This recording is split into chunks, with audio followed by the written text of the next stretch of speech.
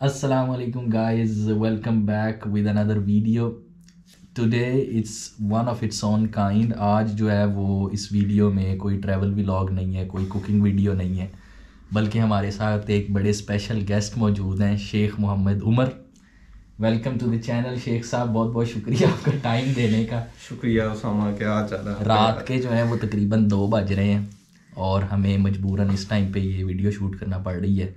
उम्मीद करते हैं आपको ये वीडियो पसंद आएगी। सबसे पहले आप जो है वो सब्सक्राइब कर दें चैनल को और वीडियो पसंद आए तो वीडियो ज़रूर लाइक कीजिएगा। Without any further due we start our sort of podcast with Sheikh Mohammad Umar तो थोड़ा सा बेसिक इंट्रोडक्शन ये है कि शेख उमर साहब जो हैं वो मेरे क्लास फेलो रह चुके हैं बैचलर्स में। We did our civil engineering together at NUST and आज क्या डेट है? आज टेंथ हो गई है। आज दस अप्रैल है। रमज़ान चल रहा है और आज उन्नीसवें रोज़े की सहरी होने वाली है और हम इस टाइम जो है वो मिलान में मौजूद हैं। तो शेख साहब पहले तो आप हमारी ऑडियंस को थोड़ा सा इंट्रोड्यूस करें कि आप जो है बचपन आपने कहाँ गुजारा है कहाँ आपकी ग्रूमिंग हुई है और फिर पाकिस्तान तक आपका जो सफ़र है वो क्या रहा है ज़रा थोड़ा सा बताएँ। बस ग्रूमिंग इन सेंस के पैदाइश और जो इनिशियल एजुकेशन थी स्कूल तक वो लाहौर की है। लाहौर में पैदा हुए हैं primary school higher secondary school Lahore से ही किया। फिर उसके बाद F S C pre engineering मैंने कर ली जी सी यू लाहौर से। टू थाउज़ेंड ट्वेल्व में फिर मैंने एंट्री टेस्ट वगैरह हम लोगों ने जैसे तैयारी की है और नस्ट में फिर हम लोगों को एक साल मिली जाने की। तो नस्ट में हम लोग bachelors of civil engineering admission किया। और 2018 तक उधर हम लोग ने ग्रेजुएट हो गए थे। 2018 में ग्रेजुएट हुए हम लोग दस से। बिल्कुल। फिर एक साल मैंने जॉब की पाकिस्तान में लाहौर में ही थी एक कंसल्टेंसी फर्म थी। उधर एक साल सिविल इंजीनियरिंग स्ट्रक्चर डिपार्टमेंट में जॉब की और 2019 सितंबर में फिर मैं इधर इटली आ गया। ठीक है। तो इटली में अब आपको कितनी देर हो गई है और यहाँ पे आपने क्या क्या किया है अब तक? एजुकेशन और एक्सपीरियंस क्या रहा है? इटली में मैं आया हूँ सितंबर 2019 में और अब almost it's about four years now almost so two years and three months masters में लगे. आई स्पेंड टू या two years and three months exactly ठीक है. And right after the graduation I got the internship क्योंकि जो हम लोग international students हैं स्पेशली जो साउथ एशिया के हैं उनको डायरेक्ट इधर इटली में या यूरोप में डायरेक्ट जॉब नहीं मिलती। बहुत कम चांसेस होते हैं कि कोई कंपनी आपको डायरेक्ट जॉब ऑफ़र कर दे। वो आपको पहले एज ए इंटर्न हायर करते हैं आपकी स्किल्स देखते हैं आपकी कॉम्पिटेंसी चेक होती है उसमें। तो फिर उसके बाद वो डिसाइड करते हैं कि आपको फुल टाइम जॉब एक परमानेंट जॉब ऑफ़र करनी है नहीं करनी। तो मैं ग्रेजुएट हो गया था दिसंबर 2021 में पॉलीटेक्निक डी मिलानो से और फिर जनवरी 2022 में मुझे इंटर्नशिप ऑफ़र हो गई थी और तो आफ्टर फाइव मंथ्स इंटर्नशिप के बाद फिर जॉब ऑफ़र हो चुकी थी। अभी जॉब ही चल रही है। तो यानी अब आपको एक साल हो गया तकरीबन इंटर्नशिप जब से स्टार्ट हुई थी और अब जो है वो जॉब उसमें कन्वर्ट हो गई है इंटर्नशिप जॉब में सेम कंपनी में। अच्छा तो पहले तो ज़रा हमारी ऑडियंस को आप ये बताएँ कि जब पाकिस्तानी स्टूडेंट्स जो हैं, वो पाकिस्तान में होते हैं बैचलर्स कर रहे होते हैं तो उनका एक बड़ा पैशन कह लें या बड़ा शौक होता है कि वो बाहर जाना चाहते हैं, पढ़ने के लिए या जॉब करने के लिए। तो उसकी कुछ वजूहत तो बड़ी ऑब्वियस ही हैं कि पाकिस्तान में जॉब मार्केट ऐसी है। मुझे याद है कि जब हम भी इंजीनियरिंग कर रहे थे तो हम भी अक्सर ये चीज़ें डिस्कस करते थे कि यार ग्रेजुएट होने के बाद सीनियर्स जो हैं वो क्या कर रहे हैं या उनकी क्या सैलरी है क्या जॉब मार्केट है जॉब्स अवेलेबल हैं या नहीं है? तो ये जो फियर है हम तो 2018 में ग्रेजुएट हो गए। अब उस बात को चार साल गुजर गए हैं तकरीबन। तो वो जो फियर है पाकिस्तानी स्टूडेंट्स में जो भी यूनिवर्सिटीज़ में हैं इंजीनियरिंग में या फिर किसी भी और डिग्री में वो क्या लगता है कि पिछले चार सालों में वो जो फियर है और जो एंथुजियाज़म है स्टूडेंट्स का बाहर आने के लिए वो बड़ा है या कम हुआ है या किस तरफ़ को जो है वो आ, बात गई है? अच्छा इस चीज़ की ना दो आप कह लें कि स्नैरियोज बन जाते हैं। पहले आप लोग ये डिसाइड करना चाहिए स्टूडेंट को कि उन्होंने बाहर आना क्यों है। कुछ लोग होते हैं कि वो देखते हैं कि मेरे सीनियर्स बाहर जा रहे हैं मेरे रिलेटिव्स बाहर जा रहे हैं मेरे फ्रेंड्स बाहर जा रहे हैं तो वो बगैर सोचे समझे कैलकुलेशन किए बगैर वो कहते हैं कि हम लोगों ने भी बाहर जाना है। और मेरे ख्याल से ये काफ़ी रॉन्ग डिसीज़न हो जाता है समटाइम्स कुछ होते हैं कि वो कहते हैं कि नहीं हम लोगों ने क्या करना है कि बैचलर्स के बाद हमने मास्टर्स करना है बाहर किसी यूनिवर्सिटी से। देन फिर हम लोग पीएचडी करेंगे। और अपनी एक प्रोफ़ाइल बिल्डअप करेंगे till the age of thirty और फिर हम लोग या तो बाहर ही सर्व करेंगे या वापस पाकिस्तान आएँगे।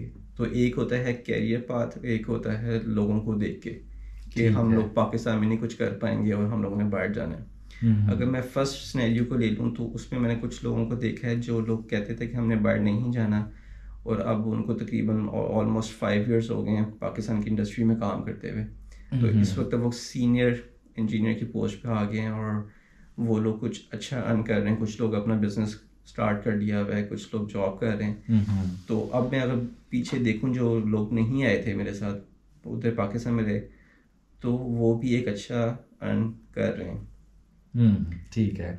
अब दूसरी साइड पे जो दूसरा सिनेरियो जिसमें हम लोगों ने ये डिसाइड किया था कि हम लोग जाएँगे बाय मास्टर्स करेंगे फिर पीएचडी जैसा आपने पीएचडी स्टार्ट कर ली इधर हम्म।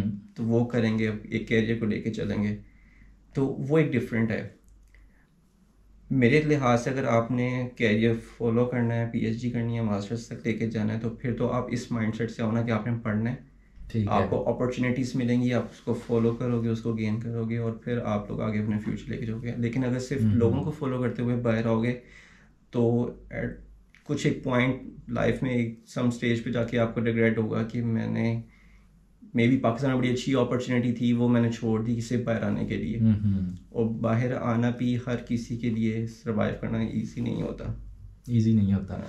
अच्छा इसी से जो है वो अगली हम बात करेंगे कि अब लेट्स से कि एक स्टूडेंट है जो अपने फाइनल ईयर्स में है यूनिवर्सिटी के और वो खुद बाहर आना चाहता है just because he wants to get exposure and experience तो उसको किन किन बातों का मेन मेन आप समझते हैं कि ख्याल रखना चाहिए या क्या चीज़ें हैं जो पहले से उसको प्री प्लान करके चलना चाहिए ताकि उसके लिए अगली जर्नी जो है वो स्मूथ हो सके? क्योंकि इट्स अ बिग शॉक जब नए नए स्टूडेंट्स जो हैं वो पाकिस्तान से या इंडिया से या बांग्लादेश से इंडियन सब कॉन्टिनेंट से एकदम यूरोप ऑस्ट्रेलिया यूएस से यूके आते हैं।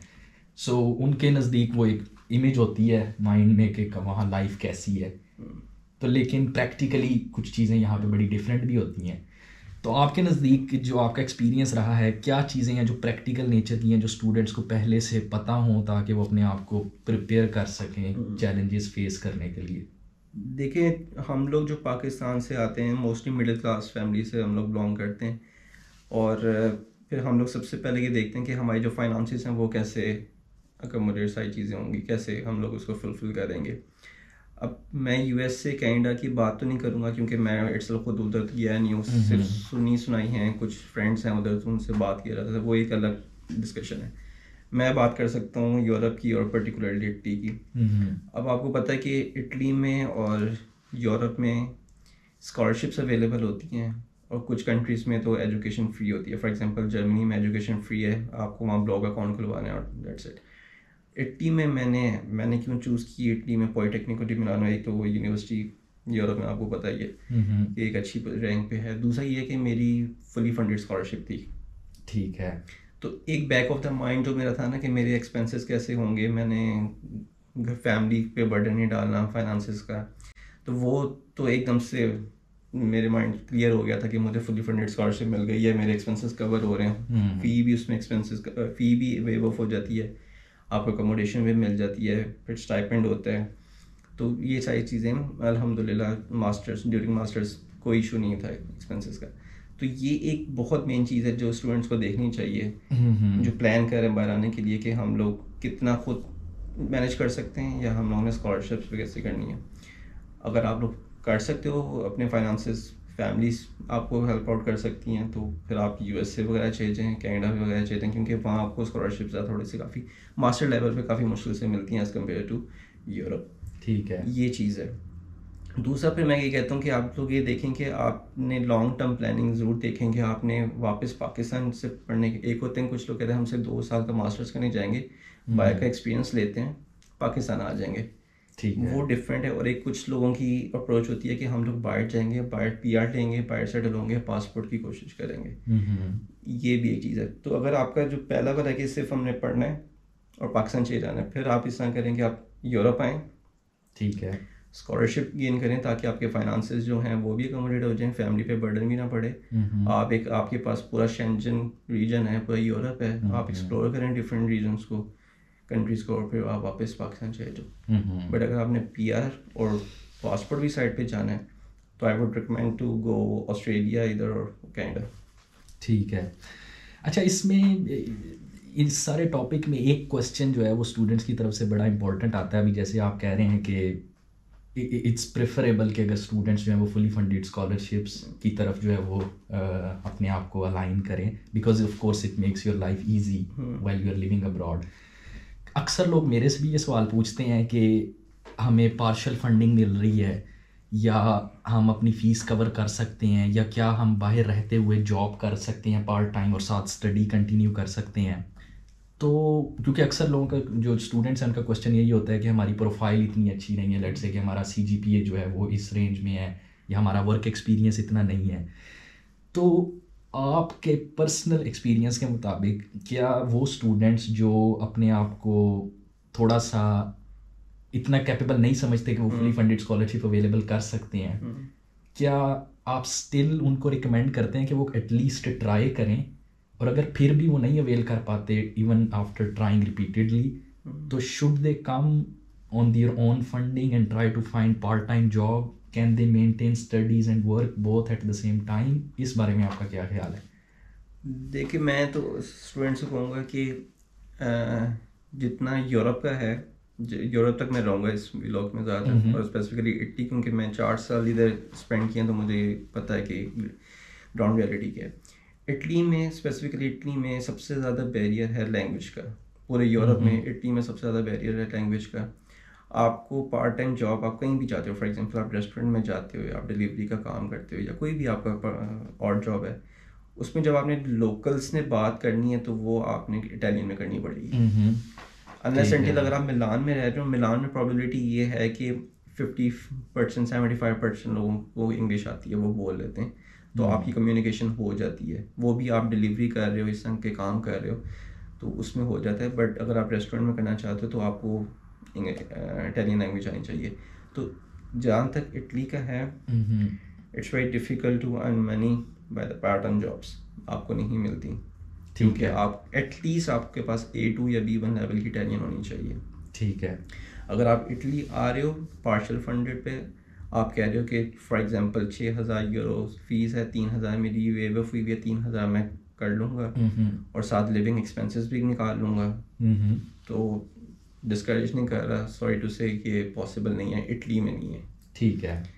बाकी यूरोप में क्या है जैसे फॉर एग्जांपल जर्मनी में आप एग्जांपल ले लें जर्मनी की। जर्मनी में क्या है कि फ़ीस नहीं है यूनिवर्सिटीज़ की। या बहुत मिनिमल है लेट्स से बहुत मिनिमल है। हंड्रेड यूरोज है पर सेमेस्टर या वो 200 euros। एडमिनिस्ट्रेटिव फ़ीस होती है है। बेसिकली वो कोई सेमेस्टर फ़ीस नहीं है वो जस्ट पेपर वर्क फ़ीस है विच इज़ वेरी मिनिमल आपने उसको इनरोलमेंट फ़ी कह लें आप ठीक है। वो होती है। बाकी अपने लिविंग एक्सपेंसेस और जो आपकी जो फ़ूड एक्सपेंसेस हैं वो करने हैं। अब जर्मनी में ये है कि आपको पार्ट टाइम जॉब्स मिल जाती हैं क्योंकि वहाँ ज़्यादातर लोग इंग्लिश बोल लेते हैं। सिमिलरली नैदरलैंड्स आप कह लो आप स्कैमिनेडियंस कंट्रीज़ कह लो। हम्म, तो जर्मनी में अगर आपको पार्सल फंडेड मतलब गवर्नमेंट की यूनिवर्सिटीज़ में अगर आपका एडमिशन हो गया जहाँ आपकी फ़ीस नहीं है कहीं उसमें मैं आपको रिकमेंड कर सकता हूँ कि आप जर्मनी चले आ जाओ। क्योंकि है। उसमें आप फॉर एग्जांपल हर स्टूडेंट को पर वीक फोर्टी आवर्स काम करने की ना अलाउंस होती है। आप फोर्टी आवर्स काम कर सकते हो।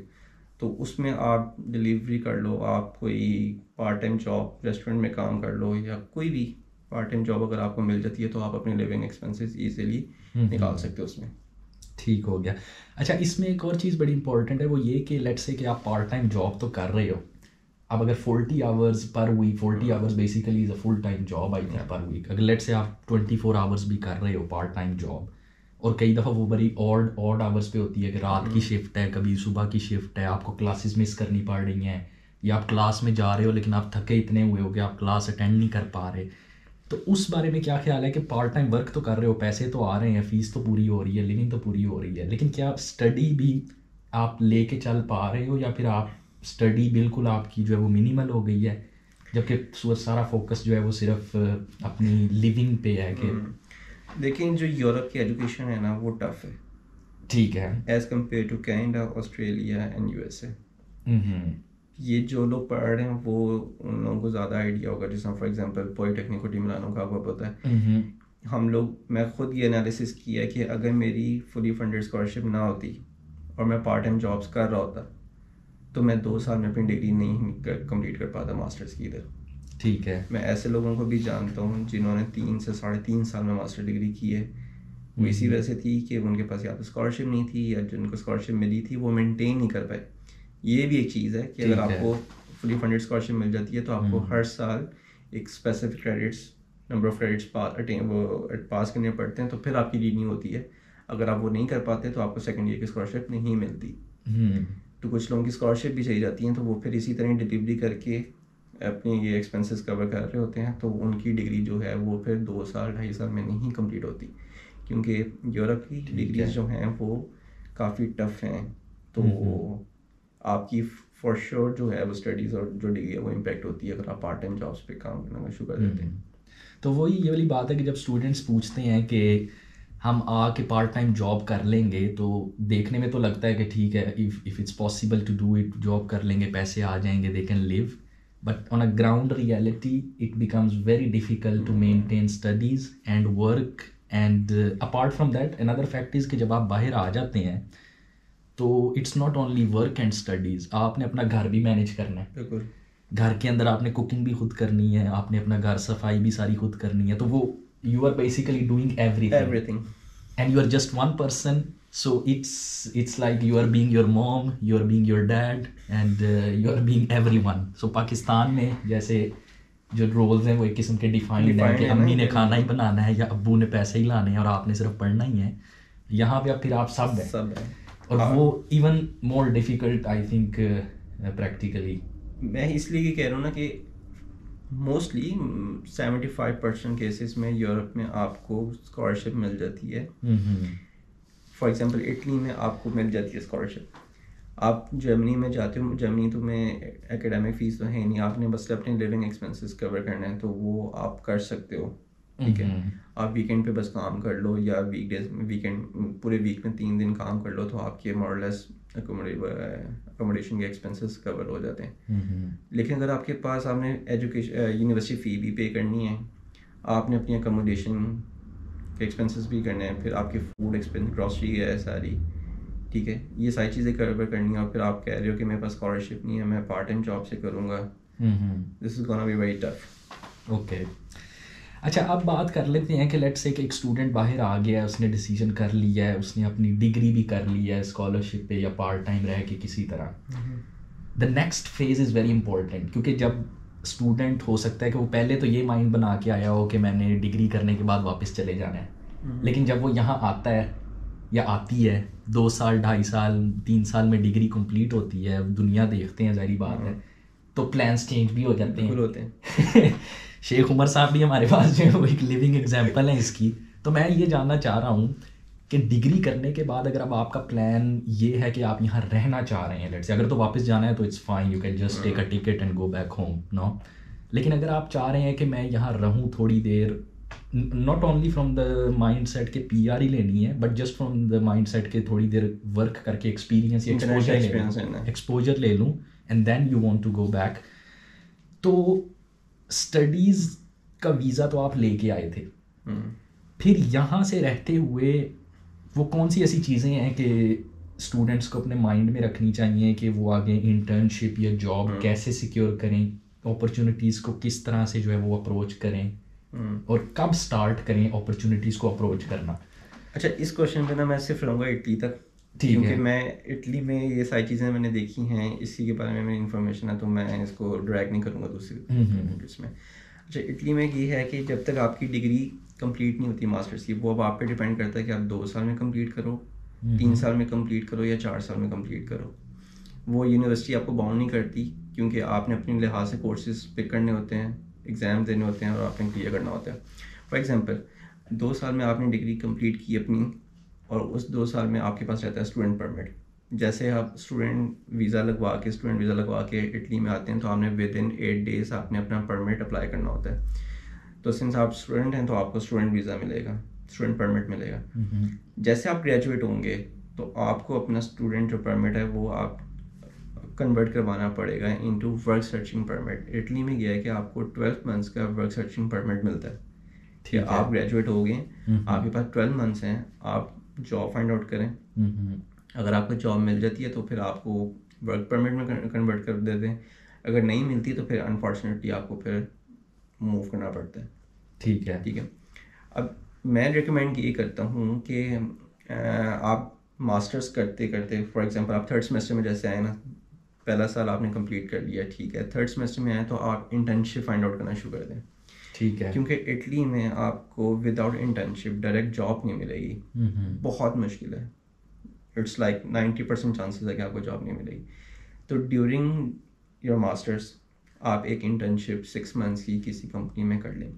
उसका फ़ायदा ये होगा कि जैसे ही आप ग्रेजुएट होंगे तो आप जॉब के लिए अप्लाई करेंगे। जब आप जॉब के लिए अप्लाई करेंगे तो कोई आपको ये नहीं कहेगा कि पहले आप इंटर्नशिप करें। क्यों? क्योंकि आपने इटली के अंदर पहले एक इंटर्नशिप कर ली है। तो ये वो एक सिक्योरिटी आ गई है कंपनी को कि जो स्टूडेंट है ये कॉम्पिटेंट है इसके पास स्किल्स हैं तो इसने इंटर्नशिप। की है तो वो आपको फिर डायरेक्ट जॉब पे कर लेंगे। और फॉर एग्जांपल हमारे केस में क्या हुआ था कि हम लोग ने कोविड में अपनी डिग्री की है अनफॉर्चुनेटली ठीक है। और कोविड में आपको पता है कि यहाँ की जॉब सिचुएशन कैसी थी यूरोप में। तो हम लोगों को ड्यूरिंग मास्टर्स हम तो पाकिस्तान में ही एक साल हम लोगों ने गुजार लिया। तो हमसे इंटर्नशिप नहीं हो पाई हम लोगों के पास अपॉर्चुनिटी नहीं थी। तो हम अनफॉर्चुनेटली फिर जब मैं ग्रेजुएट हुआ तब 2021 में तो सिचुएशन काफ़ी अच्छी हो गई थी। तो फिर पहले मैंने इंटर्नशिप की क्योंकि मैंने पहले इंटर्नशिप नहीं की हुई थी।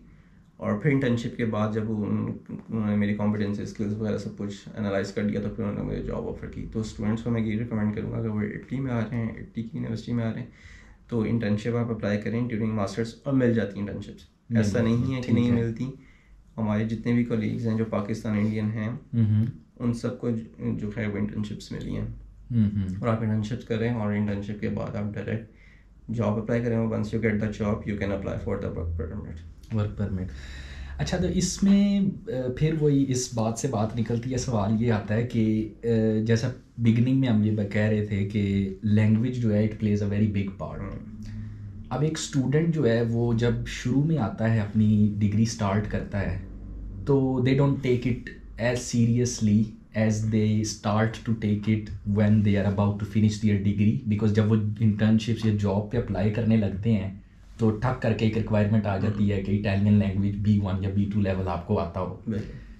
अब ये जो इम्पोर्टेंस है इस चीज़ की कि डिग्री तो आपने करनी है क्योंकि वो तो आप करने आए थे लेकिन उस डिग्री के साथ एक बहुत बड़ी इंपॉर्टेंट चीज़ है जो आपको फर्दर हेल्प करेगी जॉब्स या इंटर्नशिप सिक्योर करने में वो है लैंग्वेज लैंग्वेज तो क्या आप समझते हैं कि एक स्टूडेंट को शुरू से ही लैंग्वेज जो है वो स्टार्ट कर देनी चाहिए या फिर विद इन जो बीच में वेकेशन आती हैं उनमें फोकस करे किस तरह से मैनेज करें लैंग्वेज को ताकि at the end win win situation हो?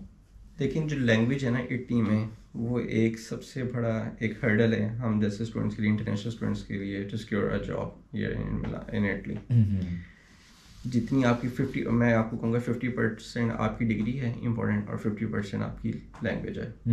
अगर आपको लैंग्वेज आती है तो अगर फॉर एग्जांपल आप टेन जॉब्स पे अप्लाई करते हैं ना तो आपको सेवन जॉब्स से रिस्पॉन्स आ जाएगा अगर आप आपको इटालियन आती है। इटालियन मैं कंसिडर कर रहा हूँ बी वन लेवल ठीक है। बी वन लेवल एक बेसिक लेवल तो नहीं कहेंगे हम उसको इंटरमीडिएट लेवल कहते हैं जिसमें आप एक आप कम्युनिकेट कर लेते हैं आप किसी को भी अपनी बात समझा सकते हैं उसकी समझ भी सकते हैं बी वन लेवल तो अगर आप टेन जॉब्स पे अप्लाई करते हैं तो आपको सेवन से रिस्पॉन्स आ जाएगा अगर आपको बी वन लेवल की इटालियन आती है। और अगर आपको इटालियन नहीं आती जैसे मुझे नहीं आती थी। ठीक है। तो आप टेन जॉब्स अप्लाई करेंगे तो शायद आपको मुश्किलों से एक से रिस्पॉन्स आए। एक से रिस्पॉन्स आए ठीक है तो ten to one ratio ten to one ratio ठीक है। इतना डिफरेंस आ जाता है। और वो भी जो रिस्पॉन्स आया है उसमें भी ऑफ़ कोर्स ये नहीं है कि आपका मतलब जितना ज़्यादा रिस्पॉन्स आएगा उतने ज़्यादा चांसेस हैं definitely it's a simple maths no so अगर आपको रिस्पॉन्स ही एक से आ रहा है या दो से आ रहा है और आपने सौ जगह अप्लाई किया है तो वो फिर आप खुद ही देख लें कि आपके चांसेस कितने हैं। और it's just one simple thing which is a language and I think it's not very difficult अगर आप हाँ, शुरू हाँ। से इसको कैच कर लें। शुरू से आप कैच करें मैं तो पहले ही शुरू से नहीं आप फ़र्स्ट सेमेस्टर जो होता है ना स्टूडेंट्स के लिए जैसे हम हमारा सीन था। पहले जो फ़र्स्ट सेमेस्टर है पर्टिकुलरली जो थ्री मंथ्स हैं फ़र्स्ट मंथ उसमें स्टूडेंट को सेटल होने में इधर टाइम लगता है। ठीक है। उसमें मैं रिकमेंड करूँगा कि आप फ़र्स्ट सेमेस्टर तक बेशक आप इस लैंग्वेज में ना आए। आप है। सिर्फ़ सेटल हों इन्वायरमेंट में सेटल हो जाएँ लोगों सिस्टम को समझ लें कि कैसे चल रहा है इटली में किस तरह हमने चलना है। एक अपनी बेस बना लें हम्म। सेटल होने की। फिर सेकेंड सेमेस्टर से आप स्टार्ट कर दें अपनी इटालियन लैंग्वेज ठीक है। अगर आप सेकेंड सेमेस्टर से स्टार्ट करते हैं तो मैं गारंटी देता हूँ अगर आप थोड़ी सी कंसिस्टेंसी के साथ चलें हम्म। तो by the end of your graduation आप बी वन लेवल अचीव कर लेंगे। ठीक है। ठीक है? अगर बी वन लेवल नहीं होगा तो ए टू हो जाएगा। ए टू में भी आप समझ लेंगे और हल्की बहुत थोड़ी बहुत आप कम्युनिकेशन आप सुपरमार्केट जाएँगे आप रेस्टोरेंट जाएँगे आप कम्युनिकेशन कर लेंगे। हम्म। आप उतनी कम्युनिकेशन स्टार्ट करेंगे फिर आप जिस अगर हायर होते हैं किसी कंपनी में तो फिर आपका वो ए टू जो होगा वो ए वन थ्री मंथ्स के अंदर हो जाएगा। ठीक हो गया। तो ये सारी चीज़ें इंपॉर्टेंट हैं डेफिनेटली अच्छा उसके बाद एक ये चीज़ है कि अब ये एक जनरल क्वेश्चन है it could be very subjective as well personal as well वो ये कि इटली में आप रहे हैं स्पेसिफिकली मिलान में रहे हैं कैसा एक्सपीरियंस रहा है चार साल का? अब चार साल तो गुजारे हैं आपने एज अ स्टूडेंट भी एज अ इंटर्न भी एज अ वर्कर भी। चार साल गुजारे हैं आगे आपको क्या नज़र आ रहा है? और आप एज अ होल क्या समझते हैं कि living in Italy living in Milan particularly did you like it what were the good things what were the things you didn't like और uh, क्या आप इन जनरल अगर कुछ टिप्स देना चाहें स्टूडेंट्स को जो पर्टिकुलरली मिलान आना चाह रहे हैं? अच्छा मिलान में ये है कि Milan is quite different than the other cities of Italy. Milan में आपको काफ़ी इंटरनेशनल सिर्फ़ स्टूडेंट्स नहीं मिलेंगे आपको इंटरनेशनल एक्सपर्ट्स मिलेंगे जो यहाँ काम कर रहे हैं जॉब्स कर रहे हैं। किसी भी तरीके से फॉर एग्जांपल कोई यूरोप की डिफरेंट कंट्री से मैंने इस तरह के लोग देखे हैं जो स्वीडन से लोग इधर सिर्फ़ और जॉब्स करने आए हैं जिसमें बेबी सिटिंग की जॉब्स होती हैं। हम्म, वो करने आए हैं। तो आपको काफ़ी इंटरनेशनल मिल जाएँगे। इसलिए मैंने वीडियो के स्टार्ट में बताया था कि अगर आप मिलान में रह रहे हैं तो आप कोई इतना बैरियर नहीं होगा लैंग्वेज का। लेकिन अगर आप दूसरे रीजन्स में जाएँगे इटली तो वहाँ बहुत ज़्यादा बैरियर होगा। तो सिंस मैं मिलान में था तो मैंने हम लोग इंग्लिश में कम्युनिकेट कर लेते थे भाई तो मैंने लैंग्वेज सीखी नहीं। During our grad masters but जब ग्रेजुएशन हुई तो फिर पता लगा कि जॉब्स के लिए आपको लैंग्वेज आनी चाहिए। ओके एक ये तो दूसरा ये है कि काफ़ी कल्चर डिफरेंस आ जाता है। हम जिस पाकिस्तान में हैं वो डिफरेंस और मिलान का कल्चर डिफरेंस बहुत ज़्यादा है। काफ़ी ज़्यादा हसल है मिलान में। आप ट्यूरिन से आते हो या कोई साउथ से आता है तो उसको प्रॉपर फील होता है कि मिलान की एक प्रॉपर हसल है बिज़ी लाइफ है। हम्म, तो ये चीज़ है लेकिन बट ये है कि मिलान एक बहुत लाइवली सिटी भी मैं कंसीडर करता हूँ इसको। Okay okay. आप बाहर जाओ रात को जितने मर्ज़ी बजे आप बाहर जाओ आपने जिस लिहाज से अपने इंजॉय करना है आप करो। आपने रेस्टोरेंट जाना है आपके पास रेस्टोरेंट्स काफ़ी ऑप्शन है शॉपिंग की ऑप्शन है जिस तरह की भी आप पार्टी करना चाह कर सकते हो आप करो। लेकिन ये है कि अब मैं चार साल मैंने मिलान में गुजारे मेरी ग्रेजुएशन इधर ही है मेरी यूनिवर्सिटी इधर ही थी। अल्हम्दुलिल्लाह जॉब भी इधर ही है मिलान में। जीना मरना आप मिलान जीना। मरना ही मिलान में। ठीक तो है। अब इधर ही हैं तो अब मैं ये नहीं कह सकता कि मुझे पसंद नहीं है। मैंने कहीं रहा ही नहीं हूँ तो मैं हाँ कंपेरिजन क्या comparison करूँ है, ठीक है। बट सो फार मुझे तो पसंद है मिलान और ओके बट सिर्फ़ मिलान का एक ड्रॉबैक ये है कि it's very expensive it's very expensive और recently it has gotten more expensive more expensive ये रिसेंटली अब ये यूक्रेन वॉर और सारी चीज़ें जो हो रही हैं वर्ल्ड वाइड पॉलिटिक्स जो चल रही है so we have seen an inflation everywhere and it has also been very negatively impactful in Milan as well मिसाल के तौर पे अगर आप एग्जांपल दें कि आम सुपरमार्केट पे ही हम जाते हैं तो जो चीज़ साल पहले लेट से हमें दो यूरो की अगर किलो टमाटर मिलते थे तो वो आज ढाई तीन यूरो साढ़े तीन साढ़े मतलब you can see a fifty percent inflation in some things so और ज़ाहिर बात है सैलरीज उस तरह से मेरा नहीं ख्याल उसी तरह ही है। सैलरीज जो हैं वो वही हैं या थोड़ी सी बढ़ी हैं जो भी लेकिन इन्फ्लेशन बहुत ज़्यादा हो गई है। तो जो बिगर सिटीज़ हैं वो ज़्यादा अफेक्ट हुई हैं सारी बात है उस चीज़ से। ये तो लिविंग रेंट रेंट जो है रेंट ये इसी रेंट पॉइंट पे मैं बिल्कुल। क्योंकि ग्रोसरी तो चले आपकी इन्फ्लेशन हुई है आपकी यूक्रेन वॉर है तो आपकी इलेक्ट्रिसिटी और गैस के जो एक्सपेंसेस हैं वो राइज कर गए। हम्म बट जो मिलान की जो अकोमोडेशन है एक तो मिलान में अकोमोडेशन फाइंड आउट करना बहुत मुश्किल है। हम्म आपको एक परमानेंट लॉन्ग टर्म के लिए आपको कमरा मिल जाए तो आप कंसिडर करें कि आप यू आर लकी ठीक है। अगर आपको अकोमोडेशन मिल जाती है और वो इतनी एक्सपेंसिव है कि आप जब उसको कंपैरिजन करते हैं अपनी सैलरी को और अपने अकोमोडेशन के एक्सपेंसेस को तो वो तकरीबन thirty forty even sometimes fifty percent तक चली जाती है आपकी सैलरी सिर्फ़ अकोमोडेशन लेने, लेने में उसके एक्सपेंसेस में। तो ये एक ड्रॉबैक मिलान का है। एक तो अकोमोडेशन फाइंड आउट करना हम्म। और अगर आपको मिल जाए तो accommodation is very expensive very expensive very expensive these days ठीक हो गया। बहुत बहुत शुक्रिया शेख उमर साहब it was wonderful talking to you रात के दो बजे आपने हमें टाइम दिया है। और if you guys have any more question so just drop in the comments and we will try to answer you to the best of our knowledge and don't forget to subscribe the channel and like the video share it with your friends and family if you like that and let know what kind of content would you like in the future and if you liked it or not. Thank you so much. Uh, have a good one and uh, i'll see you in the next one with some more informative content. Bye. Bye everyone.